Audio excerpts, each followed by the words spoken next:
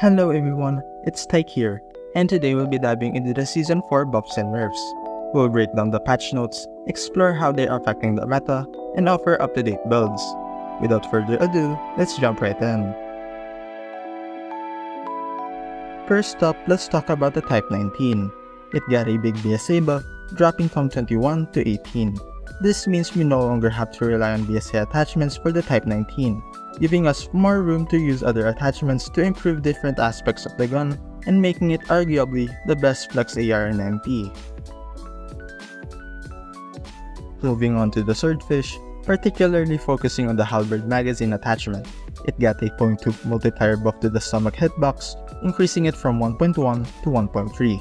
This tweak is significant as it elevates the Swordfish from being off-meta to a borderline meta choice. With this attachment, it can achieve a time to kill of 180 milliseconds all the way up to 40 meters, which is incredibly strong. After seeing much usage in both the rank and the competitive scene, the Grau has received yet another minor nerf. This time, its strafe speed has been reduced from 3.16 to 3.07 meters per second. However, this nerf won't significantly impact the weapon's performance. The Grau will continue to be an easy to use and reliable flex assault rifle option. Last but not the least, let's talk about the Man-O-War. The newly introduced Thermite ammo added this season has received a damage radius nerf, decreasing it from 0.65 meters to 0.45 meters. This adjustment is a welcome change as it aims to balance the conversion ammo. Previously, it was quite frustrating to face, almost guaranteeing that if hit twice by the enemy even if you manage to eliminate them. Additionally, the thermite sticking to your face was disorienting. This tweak should make the encounters with this ammo type more reasonable and less overwhelming. Moving on to the SMGs, let's discuss the Cordite. It has received a buff, decreasing from 1.2 to 0.8. This translates to a 33.34% reduction in flinch, which is greatly welcome. This adjustment allows the Cordite to excel in mid-range gunfights, which was previously hindered by its high hit flinch, although it still suffers from high initial recoil. The MSMC receives a significant buff with a 0.2 multiplier increase to both the head and chest hits, making them 1.3 and 1.2 respectively. While this might seem substantial, it won't greatly impact the weapon's performance at range since hitting the chest and head hitboxes is already quite challenging. However, the MSMC also gets a hipfire spread buff, aligning it more closely with the Fennec's hipfire spread. This adjustment is sure to enhance the gun's close range performance, making it much more viable in MP. Now, let's talk about the TEC-9. It received a 2 meter range buff to both its first and second range, increasing them from 10 and 20 to 12 and 22 respectively. Although this may seem minor, the TEC-9 is already a powerful SMG in both multiplayer and battle royale modes, and this buff only solidifies its dominance even further. In addition to the range buff, the TEC-9 also gets a significant buff exclusive to battle royale. This buff comes in the form of a major hipfire spread reduction, decreasing it from 180-120 to an impressive 80-40. This change is somewhat overkill since it is already carried by its unparalleled time to kill when fully kitted out, referred to our TEC-9 in that. So you can expect it to be undoubtedly the best option for BR. Next in line for a buff is the MAC-10. It's been granted a minor range increase of 1 meter to both its first and second range. While this buff isn't game-changing, it's still appreciated. The MAC-10 has been lagging behind other high fire rate SMGs like the Fennec, the QXR with the enhanced bolt, and the CX-9. This adjustment helps the MAC-10 keep pace and remain competitive in the SMG category. The last SMG that is getting changed is the CBR-4. Some of you may be getting your PTSD triggered from its 1.5 year reign, but you don't have to worry all too much. The gun has only been given a slight hit flinch buff, decreasing from 1.1 to 1, and a strafe buff, increasing from 3.69 to 3.9 meters per second. These adjustments bring the CBR's mobility more in line with the other SMG options, but won't impact its range performance. Now, diving into the heart of the update, we have everyone's beloved Russian general purpose machine gun, the PKM, receiving a rather substantial buff that impacts multiple aspects of the weapon. Firstly, the lower arms multiplier has been increased from 1 to 1.07. This enhancement enables the PKM to achieve a 3-shot kill up to the second range, requiring either 2 shots to the entire arms or chest or a single headshot. Next, the bullet spread accuracy is being improved from 20 to 18, bringing it more in line with main assault rifles and enhancing the consistency of 3-shot kills.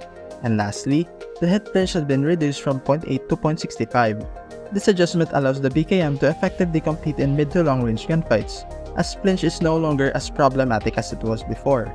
Overall, these changes are expected to elevate the PKM's position in the meta tier list, placing it on par with, if not surpassing, the UL in certain situations. Another LMG receiving a significant buff is the S36. It receives a damage increase in its second range, going from 23 to 24, along with a 0.1 multiplier boost to the lower arms, matching it with the upper arms and chest at 1.1. With these adjustments, the S36 can now achieve a 4-shot kill up to the second range, landing 2 out of 4 shots to the entire arms or chest. With attachments, this range can be extended to almost 54 meters, making it very competitive, especially in multiplayer. This same change will also be applied to Battle Royale, where the S36 is already considered the strongest full auto weapon. This buff will make it even more formidable, with the potential to kill in 880 milliseconds for up to infinite meters if 5 out of 12 shots land above the legs. For context, that is the time to kill of the AK-47 at point blank we can anticipate the S36 gaining more popularity outside of Battle Royale, marking the first time in 4 years that it will be competitive again in multiplayer. This season, the Tundra received a minor nerf, specifically to its breath hold time, reduced from 6 seconds to 2.5. This adjustment was necessary as the Tundra previously boasted the highest breath hold time among all snipers and marksmen by a considerable margin. The overall performance of the weapon remains unchanged, as the main issue was the fast ADS time paired with the low flinch, meaning that it is still the best bolt-action rifle. The packs from the Vulture perk have received another boost in healing, now granting an additional 10 HP, increasing from 30 to 40. This enhancement follows a previous adjustment from 20 to 30, further solidifying Vulture as a decent quick fix alternative. This makes it particularly appealing for aggressive players aiming for longer streaks. For some god-forbidden reason, Persistence received buff, reducing the score multiplier penalty from 2 to 1.8. This will make score streaks even easier to obtain, as they will be effectively 10% cheaper. So yeah, respawns will be even more painful to play. Alert has been revamped to detect enemies in a swift 200 milliseconds, down from the previous 800 milliseconds. This adjustment provides you with crucial extra time to react to enemy pings on the minimap, enhancing your situational awareness and response capabilities. The activation point requirements for Havoc and Death Machine have been reduced, resulting in a quicker charge-up time. This adjustment makes them more appealing choices over other operator skills, enticing players with their faster availability during gameplay. The score streak requirement for the gunship has received a reduction, decreasing from 2000 to 1900. The Guardian has been bolstered with a significant buff to its hit points, boosting its health from 450 to 600. This substantial increase in durability enhances the Guardian's effectiveness as a tool for area denial. That wraps up all the balance changes in the Season 4 update. What are your thoughts on these changes? Are there any other weapons you believe could use a buff or nerf? Share your comments with us down in the comment section. Don't forget to give this video a thumbs up if you found it useful and consider subscribing for more content like this. This is Tych, going dark.